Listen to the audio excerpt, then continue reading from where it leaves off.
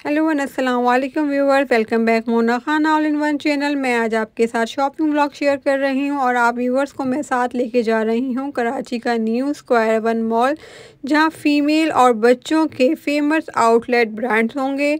और इसकी जो लोकेशन है, गुलशन इकबार अस्करी फोर्ट, जहाँ मिलीनियम मॉल भी होगा।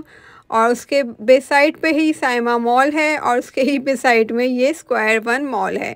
चलें और एंड तक मेरे साथ रहिएगा। आई होप ये जो शॉपिंग व्लॉग है आपको पसंद आएगा। यहाँ फ़ेमस ब्रांड जो होते हैं फीमेल्स के, मैं वहाँ पे आपको लेके जाऊँगी, बच्चों को दिखाऊँगी। आई होप ये आपको वीडियो अच्छी लगेगी। स्क्वायर वन मॉल में हम लोग पहुँच चुके हैं। ये बाहर से इसकी लोकेशन है। ये आप देख रहे हो अब जो इसका पार्किंग एरिया हम वहाँ जाते हैं।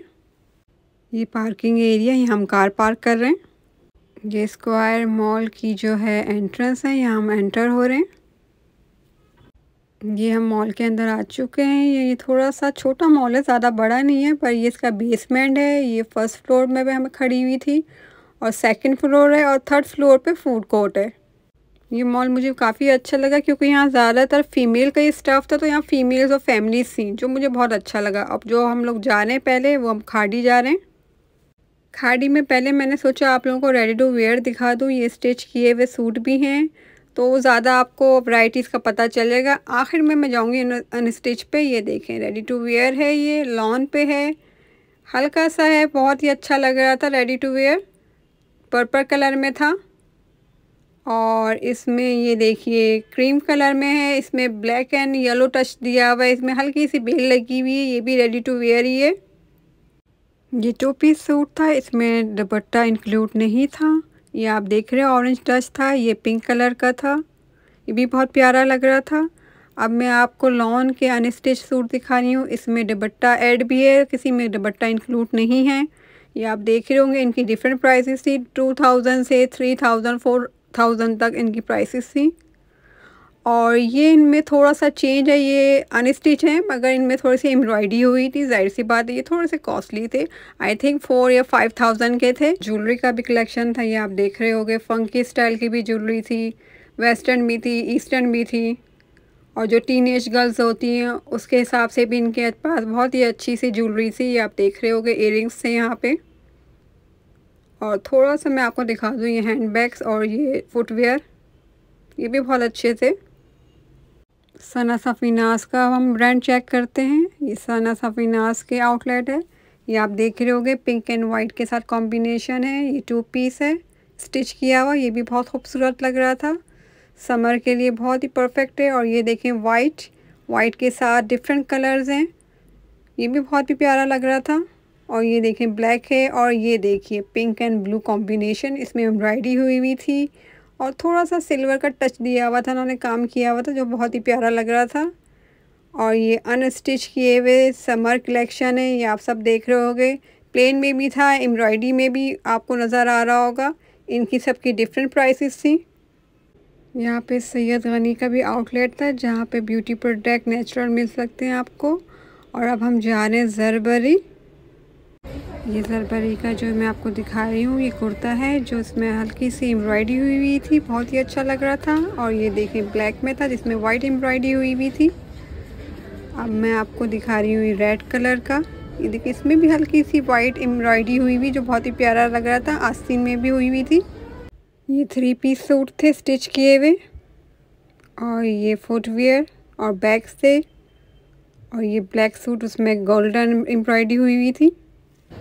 ये पिंक कलर की थी, इसमें भी एम्ब्रॉयडरी हुई हुई थी, ये आप देख रहे हैं, ये रेडी टू वेयर है। ये प्रिंटेड शर्ट है रेडी टू वेयर है इन्होंने बेल लगाई हुई थी जो बहुत ही अच्छा लग रहा था, इसको वाइट ट्राउज़र के साथ पहनेंगे तो बहुत ही अच्छा लगेगा, ये रेड शर्ट थी। ये जरबरी की बैग्स और फुटवेयर की कलेक्शन है, यहाँ पे आपको स्कार्फ भी मिल जाएँगे इजीली और ये थोड़ा सा वेस्टर्न भी आपको यहाँ पे ड्रेस मिल जाएगा इजीली ये देखिए footwear clutch bag hand bags ये जरबरी की कलेक्शन थी।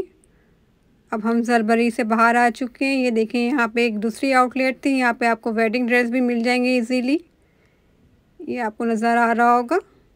बहुत अच्छी वराइटीज़ थी यहाँ पे। अब हम जे डॉट पे जा रहे हैं। जे डॉट का ये आउटवेयर है।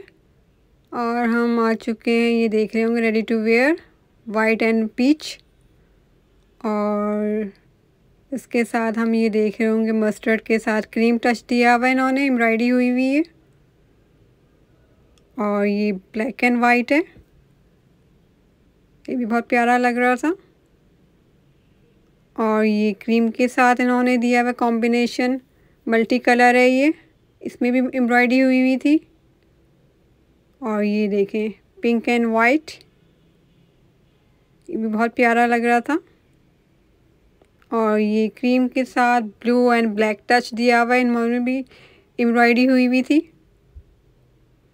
और ये ग्रेइश है। उसके साथ पीच कॉम्बिनेशन के साथ इन्होंने एम्ब्रॉयडरी की हुई। ये भी बहुत प्यारा लग रहा था।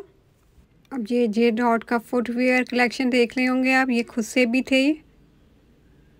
बहुत अच्छा कॉम्बिनेशन था। एम्ब्रॉयडरी हुई हुई थी। इम्बोज भी हुए हुए थे।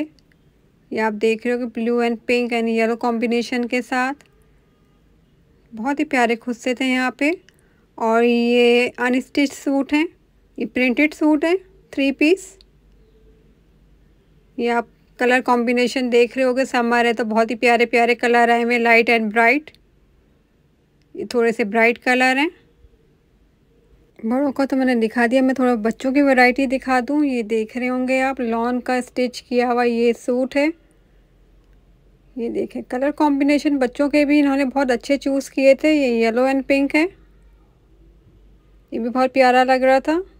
और ये पिंक के साथ मल्टी कलर डोरी सी लगाई हुई थी, बड़ा अच्छा लग रहा था। और यहाँ पे मैं आपको दिखाऊँगी ज्वेलरी यहाँ बड़ों और बच्चों की ज्वेलरी मिल रही थी। यहाँ पे हर आपको वैरायटीज़ मिल जाएँगी। और यहाँ पे थोड़ा सा मैं आपको जे डॉट का मेकअप का स्टफ़ दिखाती हूँ। इनका मेकअप स्टफ़ बहुत अच्छा होता है। ये आप देख रहे होगे, बहुत ह्यूज वैरायटी थी इनके पास मेकअप की। और परफ्यूम भी आप देख रहे होगे। अब हमारा जो नेक्स्ट ब्रांड है, वो सफ़ायर है तो यहाँ का हम चेक करते हैं। रेडी टू वेयर है ये, देख रहे हैं प्रिंटेड शर्ट है ये। समर के हिसाब से इन्होंने कलर कॉम्बिनेशन रखा हुआ ये प्रिंटेड है रेडी टू वेयर ये आप देख रहे होगे। ये येलो कलर है, इसमें एम्ब्रॉयडरी हुई हुई है। स्क्वायर वन मॉल में मैं सेकंड फ्लोर पे हूँ, ये आप देख रहे होंगे बेसमेंट ये फ़र्स्ट फ्लोर और मैं सेकंड फ्लोर पे हूँ। मॉल छोटा है, पर बहुत ही अच्छा है। सारे फ़ेमस जो आउटलेट्स हैं, वो यहाँ पे हैं और ज़्यादातर फीमेल्स का यहाँ पे स्टफ़ आपको मिलेगा।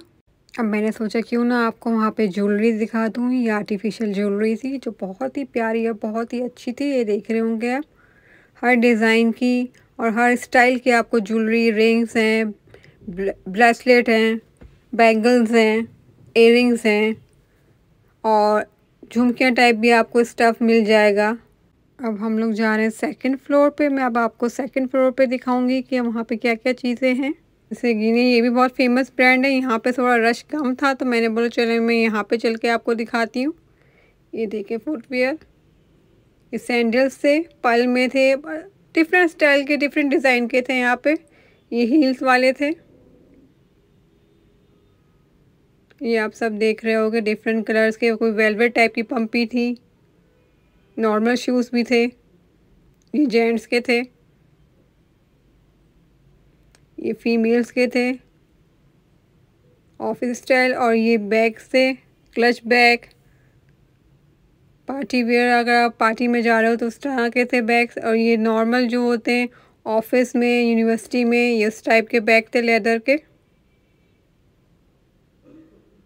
और ये नॉर्मल जो वो जो सैंडल्स होती हैं फुटवेयर ये वो थी। अब मैं आ गई हूँ मिनी माइनर्स में, जो बच्चों का फ़ेमस ब्रांड है। यहाँ पे मैं आपको बच्चों का स्टफ़ दिखा देती हूँ।